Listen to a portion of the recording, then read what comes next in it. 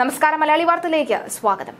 അഴിമതിക്കെതിരെ ശബ്ദിച്ചതിന് ആദ്യം പുകഴ്ത്തിയവർ പിന്നീട് തന്നെ രാക്ഷസിയായി ചിത്രീകരിച്ച് സോഷ്യൽ മീഡിയയിലൂടെ രംഗത്ത് വരികയായിരുന്നുവെന്നാണ് ദിവ്യ ഏറ്റവും ഒടുവിലായി പറയുന്നത്.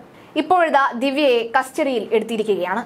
സി പി എം അനുകൂല ജയിൽ ഉദ്യോഗസ്ഥരുടെ മൊബൈൽ ഫോൺ അടക്കം ദിവ്യ ജയിലിനകത്ത് ഉപയോഗിച്ചിട്ടുണ്ട് എന്നുള്ള വിവരം പുറത്തു വരികയാണ്.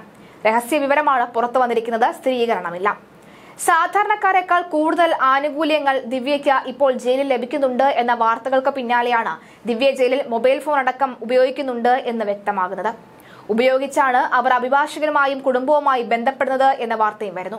ജയിലിൽ മൊബൈൽ ഫോൺ ഉപയോഗിക്കുന്നത് ചട്ടവിരുദ്ധമാണെങ്കിലും ദിവ്യയ്ക്കായി പ്രത്യേക ഇളവ് അനുവദിച്ചിരിക്കുകയാണ് സി അനുകൂല ഉദ്യോഗസ്ഥർ.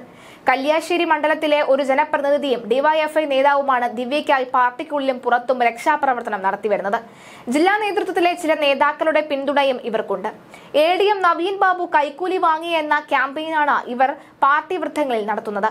മാത്രമല്ല കണ്ണൂരിൽ ജോലി ചെയ്യുന്ന കാലയളവിൽ ഇദ്ദേഹം സി പി ഐക്ക് വേണ്ടി പണിയെടുത്തു നടക്കമുള്ള കുറ്റപ്പെടുത്തലുമുണ്ട്. സി പി എം എതിർത്തിട്ടും സി പി ഐ ജില്ലാ നേതൃത്വമാണ് പത്തനംതിട്ടയിലേക്ക് സ്ഥലം മാറ്റം നേടിക്കൊടുത്തത് എന്ന് നവീൻ ബാബു അടുപ്പമുള്ളവരോട് പറഞ്ഞിട്ടുണ്ടെന്നാണ് ഇവരുടെ വാദം. ജയിലിൽ ലഭ്യമാവുന്നതിലെ ഏറ്റവും മികച്ച സെല്ലാണ് ഒരുക്കിയിരിക്കുന്നത് ദിവ്യയ്ക്ക്. ദിവ്യ റിമാൻഡിലാവുമെന്ന സൂചന ലഭിച്ചപ്പോൾ തന്നെ ജയിലിലും ഒരുക്കങ്ങൾ തുടങ്ങിയിരുന്നു. റിമാൻഡ് തടവുകാരിയായതിനാൽ പുറത്ത് വരാന്തയിലൂടെ നടക്കുവാനും പൂന്തോട്ടത്തിൽ പോകുവാനൊക്കെ ദിവ്യയ്ക്ക് സാധിക്കും.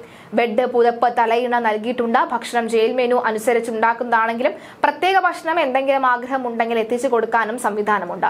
നവീൻ ബാബു ജീവനൊടുക്കിയ സംഭവത്തിൽ ആത്മഹത്യാ പ്രേരണ കുറ്റത്തിന് റിമാൻഡിലായ പി പി ദിവ്യ അചഞ്ചലമായ മനസ്സോടുകൂടിയാണ് ജയിലിൽ കഴിയുന്നത് എന്നാണ് വിവരം. താനിതൊക്കെ ഒരു ത്രില്ലായാണ് കാണുന്നത് എന്നാണ് ദിവ്യ തന്റെ സന്ദർശകരിൽ ചിലരോട് പറഞ്ഞതെന്നാണ് വിവരം. നവീൻ ബാബു ജീവനൊടുക്കിയത് അപ്രതീക്ഷിതമാണെങ്കിൽ ഇതിന് പിന്നിൽ താനാണ് എന്ന് വരുത്തി തീർക്കുവാനുള്ള മാധ്യമ വേട്ടയാണ് നടക്കുന്നത് എന്നാണ് ദിവ്യയുടെ പക്ഷം.